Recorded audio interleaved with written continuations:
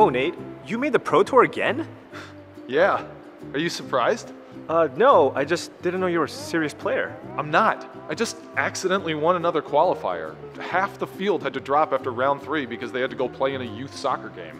How the heck am I supposed to compete in a pro tour? I mean, how do you stay sharp against so many great opponents round after round? Well, you have to be versatile. Don't play every match the same way. For any given opponent, you must transform into a player that defeats them. Transform.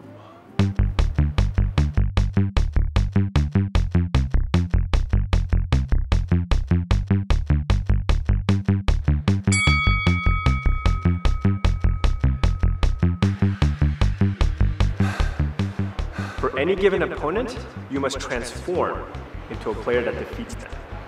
Ruins, Reveal Swamp, Pitch Youth, Flip Air, Pay Madness, Combat. So yeah, I flew to the Albuquerque PTQ because I thought it'd be the best value, especially given the nearby burrito stand. Swing, take seven, you're a two, pass turn.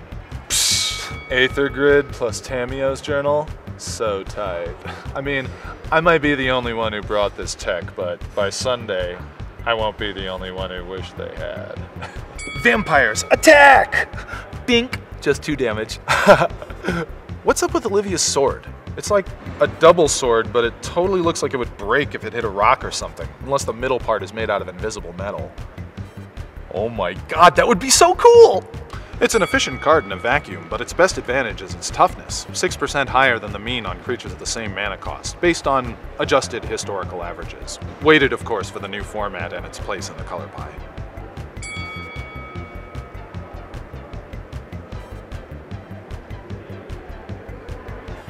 You don't scare me. I tore apart the buttresses and balustrades of Markov Manor like a dissected animal. Question. Yes? What's your record? 0 and 5. Okay. Question. Yeah?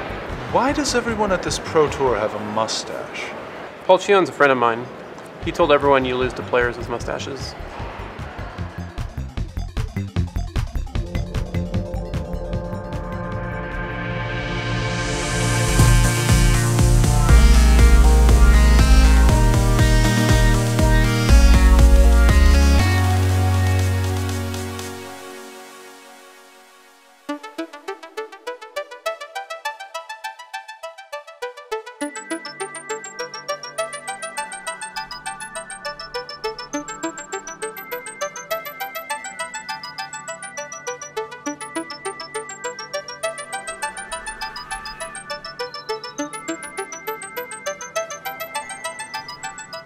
Three hundred and seventy-eight of the world's best Magic players have gathered here in Madrid to compete in Pro Tour Shadows of Innistrad.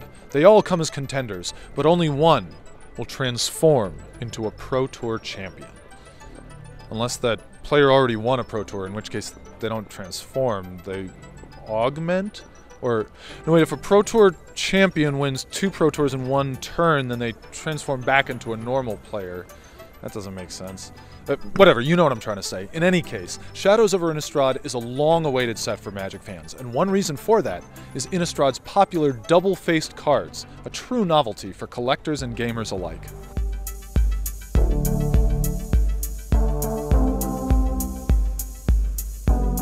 So I'm here with Mark Gottlieb, who is the lead designer of Shadows over Innistrad. It's a big hit set, and one of the hallmarks of the set are these double face cards uh, that transform. So these cards they present a lot of logistical hurdles. Why do double face cards? What's the upside? There's more card per card. Each card has two names, two art boxes, two arts, two text boxes. So flavorfully, you get to tell a story. You get to tell two beats of a story. It was this, and then this happened, and then now it's this.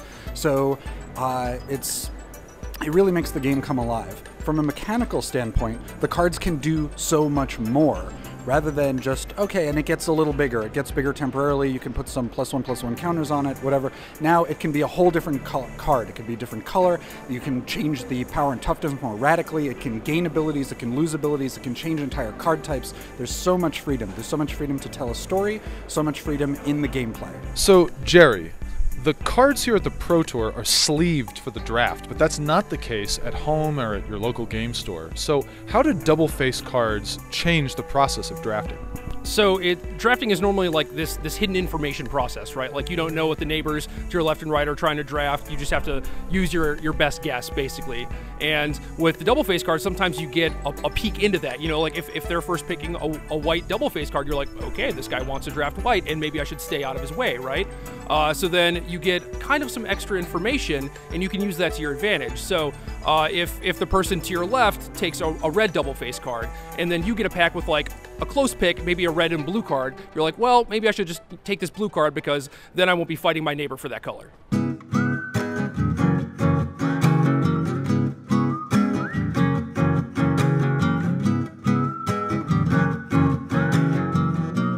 Fans of the Pro Tour can tell you a lot about its players what decks they play, how many top eights they have, what strategy articles they've written. But how much do they really know them? Up next, we ask Magic players some completely normal and extremely mundane questions in a segment we call Getting to Know You. So, Rich, when did you start playing Magic? Uh, about 20 years ago. I was 11. I'm 30 now, so close to 20 years ago. I started playing Magic a little bit in high school, um, and it was mainly just decks other friends had had. Um, I didn't start playing competitively until about 2012, and that's actually when I ended up getting my DCI. When I was 11, like in sixth grade, it was uh, September, uh, September 1994. Shifting gears a little bit, um, what did you think about Mrs. Warren blaming the rise of werewolves on Lady Evelyn's shoddy amulets? I have no idea what you're talking about. What did you think about Mrs. Warren blaming the rise of werewolves on Lady Evelyn's shoddy amulets? Oh my gosh. What did you think about Mrs. Warren blaming the rise of werewolves on Lady Evelyn's shoddy amulets? I don't have the slightest clue what you're talking about. I actually don't know much about that. I try to keep up every once in a while with the with the lore, but it's been so crazy. Um, I haven't gotten to sit down and actually get all of the information. well, this is an easier one. Follow up. Uh, I mean, what did you think about Mia's response to Wilbur when Wilbur said, You're not a true slayer? And then Mia was like, Well, you're not a fisherman.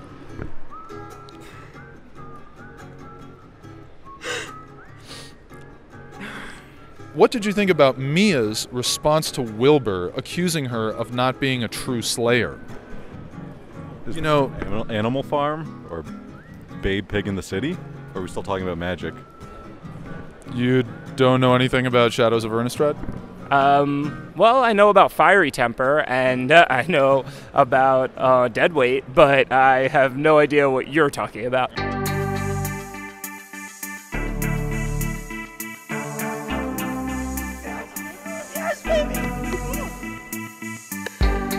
Well, Brad, it's been since 2010 when you won Player of the Year that you last top eight at a Pro Tour, and you're back again. What have these last five and a half, six years been like for you and your road back to the top?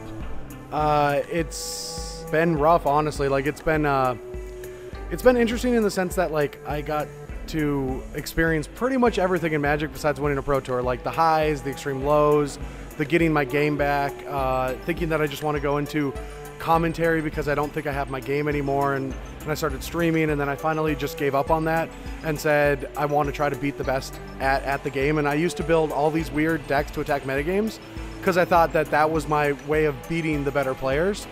And I just spent, I mean, the last three years as a student of the game trying to get back to this spot. I've experienced so much failure at the Pro Tour that uh, it, it's hard to not just have this like unbelievable sense of happiness right now.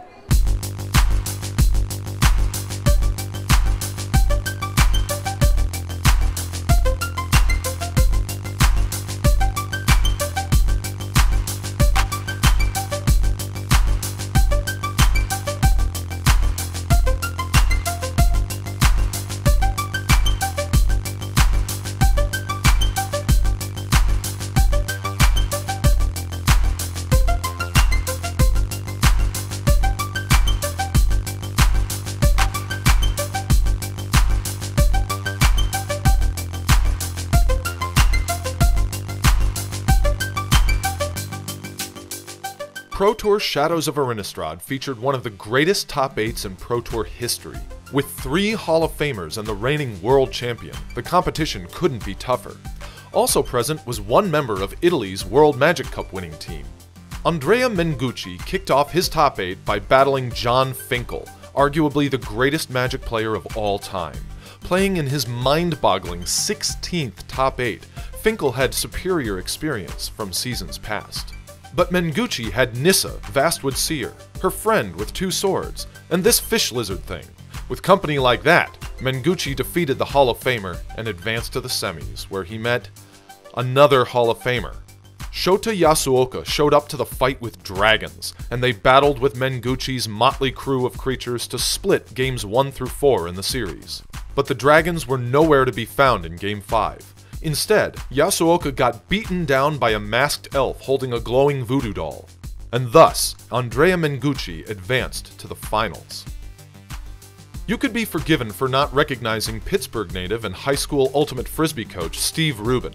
He may not be as renowned as his Sunday competition at Pro Tour Shadows of Innistrad, but players in the know will tell you he is the real deal. He earned a seat at last year's World Championship, and that's one of the hardest things to do in Magic. In the quarterfinals, Rubin played against former Player of the Year Brad Nelson.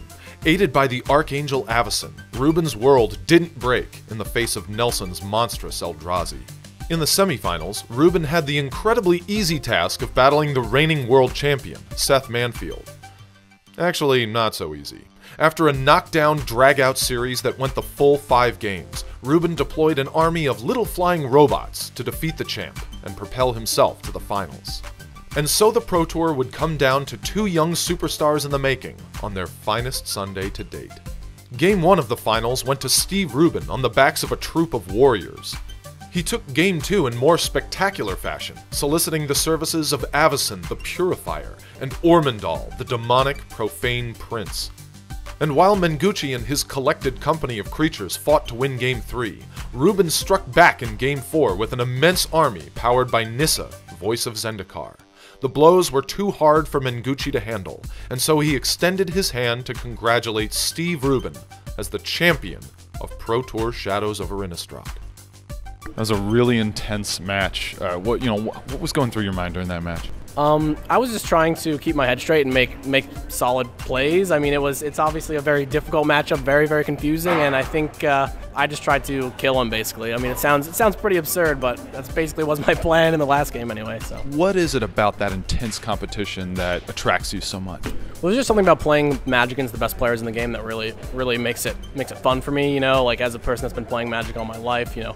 I've been through the PTQs, I've been through the pre-releases, I've gone all the way up. So I just love playing at the uh, best competition, basically. I see your teammates lining up to congratulate you, and let me do the same. Congratulations to Steve Rubin, the champion of Pro Tour Shadows of Innistrad.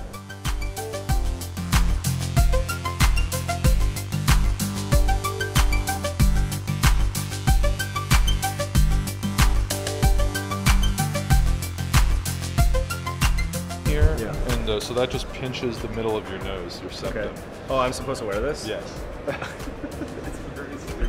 All right. that feels really weird. It does. All right.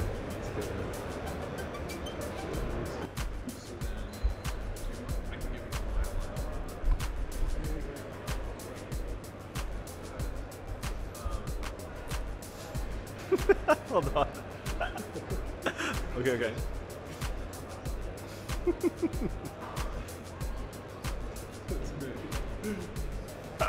Which one would you prefer?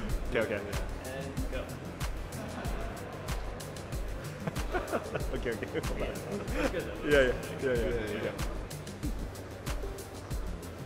Okay, that was really fake. Hold on, let's try that again.